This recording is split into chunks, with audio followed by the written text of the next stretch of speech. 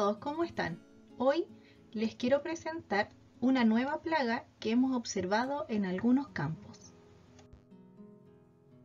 Vulgarmente, esta plaga se reconoce como chanchito blanco y su nombre científico es Pseudococcus viburni. Este es un insecto muy pequeño de color blanquecino que se esconde fácilmente entre el ritidoma de la vid y entre medio también de los brotes nuevos. Es una plaga muy importante a nivel de la agricultura, ya que eh, afecta a numerosos hospederos, es polífaga y tiene un difícil control. Es una plaga cuarentenaria que eh, es fiscalizada por el SAC.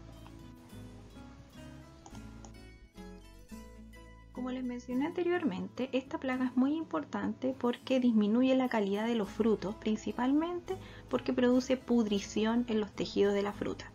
También, producto de esto, tiene mucha importancia en la exportación de uva fresca, ¿ya? principalmente porque al ser una plaga cuarentenaria en Chile y en muchos otros países de destino de la fruta, esta es, ¿no es cierto?, eh, castigada de alguna manera si presenta este tipo de plaga. Por lo mismo es que el SAC en este caso es, eh, es la, el instrumento, ¿no es cierto?, que fiscaliza y genera tratamientos cuarentenarios frente a esta plaga. También es importante mencionar que esta plaga debilita las plantas, ya que se alimenta de la savia, ¿no es cierto?, que está eh, como un fluido interno dentro de la planta, generando en este sentido un debilitamiento completo de la planta. Además de eso, eh, se ha comprobado que los líquidos que se generan a partir de fruta infectada por este tipo de plaga presenta sabores extraños que generan defectos y malos gustos en los, en los fermentados. Este insecto es un insecto muy pequeño que mide entre 3 a 4 milímetros. Sus hembras adultas tienen un cuerpo blando, ovalado y relativamente aplanado. ¿ya? Se parecen mucho, como les mencioné antes, a los chanchitos de tierra. Son muy pequeñitos y su cubierta o algo que los protege es como una cera blanca que tiene un carácter pegajoso, ya principalmente porque ellos expelen una sustancia pegajosa, lo que atrae muchas veces a las hormigas. Esta especie presenta generalmente tres generaciones por temporada, lo que puede llegar a afectar en distintos estados de desarrollo a nuestros frutales.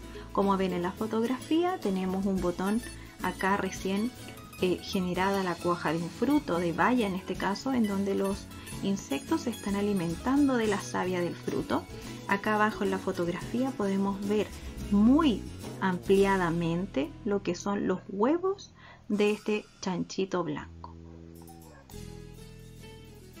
A modo de entender un poco más cómo se desarrolla este insecto, es importante mencionar que es una especie ovípara que genera muchos huevos, entre 200 y 300 huevos, ¿no es cierto? Eh, tienen un aspecto algodonoso, principalmente que se genera por una fibra que ellos mismos van desarrollando en sus tejidos de secreción. Las hembras tienen en general eh, tres estados ninfales, de, alguna manera menos desarrollados, no presentan alas, los machos presentan alas, por lo tanto su forma de dispersión es mucho más acelerada. En esta imagen podemos observar los distintos estados de desarrollo del chanchito blanco. Primero tenemos los huevos, luego tenemos estados ninfales, que son de alguna manera estados de desarrollo antes de llegar a la maduración. Acá podemos ver una hembra de chanchito blanco sin alas y un macho que son alados. En la presente imagen podemos ver nuevamente la comparación entre una hembra de chanchito blanco y un macho y además podemos ver en la siguiente imagen, en la del medio, cómo afecta, ¿no es cierto?, cada una de las estructuras de la vid. En este caso está asociado con tejidos más blandos, verdes, de poca maduración. Ellos se están alimentando de los fluidos que van pasando por acá, ¿no es cierto?, por los tejidos. Y en la tercera imagen podemos ver los estados de desarrollo que este insecto presenta. Muy pequeños son los huevos, ¿no es cierto? Luego presenta distintos estados ninfales que son etapas de desarrollo más bien adolescente para llegar, ¿no es cierto?, a su etapa adulta. Una relación importante que debemos tener en cuenta es la relación que existe entre la hormiga y el chanchito blanco. Entre ellos dos se genera una especie de mutualismo, una ayuda entre ambos, en donde la hormiga se alimenta de la mielecilla que expele el chanchito blanco y a la vez la hormiga le espanta a los enemigos naturales, por lo tanto la cuida.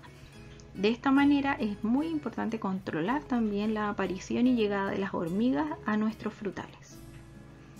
Es importante también mencionar que muchas veces se dispersan estas plagas producto de la acción involuntaria del hombre.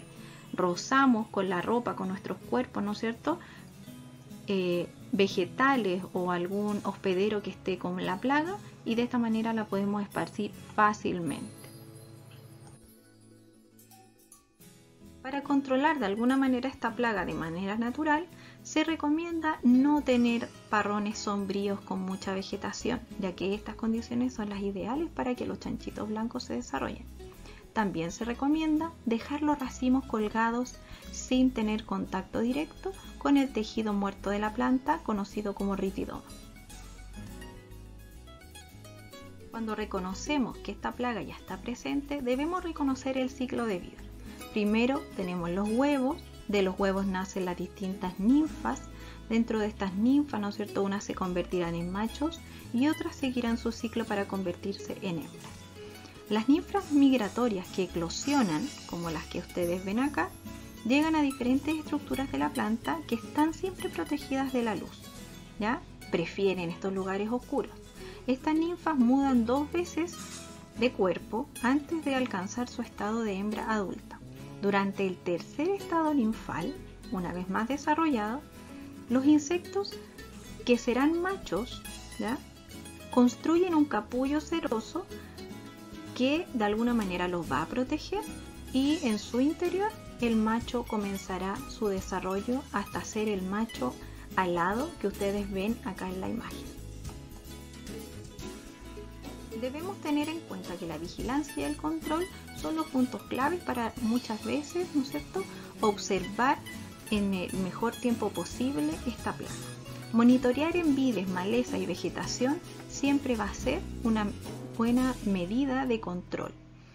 No olvidar en este caso que las hormigas van a ser de alguna manera un, eh, un indicador de este tipo de plaga, así como pueden ser también la plaga de pulgones. Cuando ya queremos monitorear esta plaga pensando en que pueda estar presente, se recomienda monitorear durante todo el año, principalmente en las maderas viejas, en este ritidoma, en la base del tronco, bajo el suelo, en brotes y hojas y racimos. El racimo preferentemente cercano a lo que esté la madera. ¿ya? Si vemos que hay racimos muy pegados a la madera, empecemos entonces monitoreando ese tipo de fruto. Luego también recordar que siempre que hayan hormigas sobre nuestros frutales es posible que esté esta plaga presente. Algunas recomendaciones que están relacionadas con, las labores culturales de nuestro viñedo es siempre evitar un exceso de follaje, un exceso de hojas que den mucho sombreamiento. Por lo mismo, evitar también una extrema fertilización nitrogenada. También debemos evitar dejar frutos que estén tocando el ritidoma y la madera vieja. ¿ya? Del mismo modo, ¿no es cierto? Fruta que no ha sido cosechada también debe ser descolgada, cosechada y eliminada del viñedo. Como lo mencionamos anteriormente, algunos métodos del control de esta plaga debe dedicarse, ¿no es cierto?, en algunos momentos clave del desarrollo de la vid. En general, en la brotación, la plaga se ubica bajo el ritidoma. En esta etapa, por ejemplo, del viñedo, del desarrollo del viñedo, esta plaga está normalmente escondida debajo de ese tejido muerto llamado ritidoma. Por lo tanto, es muy difícil llegar con algún ayudante químico. Cuando ya tiene entre 15 y 25 centímetros de brote, más o menos, se recomienda aplicar algunos productos químicos solo si se observa mucho daño. De tal manera que desde cuaja en adelante ya podemos, ¿no es cierto?, utilizar algunos productos químicos ya que la plaga está de alguna manera visible muy cercana a lo que son las vallas que están en crecimiento. Por lo tanto, en este momento, el momento de cuaja, en donde se debe hacer el mayor control de tipo químico. En la presente imagen les muestro algunas claves de cómo controlar químicamente este tipo de plaga. Tenemos épocas de aplicación, algunos insecticidas recomendados y los criterios de aplicación para cada uno de estos insecticidas. Desde floración, por ejemplo, hasta valla recién cuajada, se recomiendan estos dos productos que están acá y generalmente bajo el monitoreo pensando en que esta plaga ¿no es cierto? está actuando de manera fuerte. Una vez que ya se acerca ¿no es cierto? el verano, se recomienda preferir estos tres tipos de producto y también ¿no es cierto? tratando de controlar la población según el umbral señalado. Espero les haya gustado esta presentación. Ahora los invito a visualizar si existe esta plaga en sus viñedos y a preferir siempre labores culturales como eliminación de ritidoma antes de aplicaciones químicas.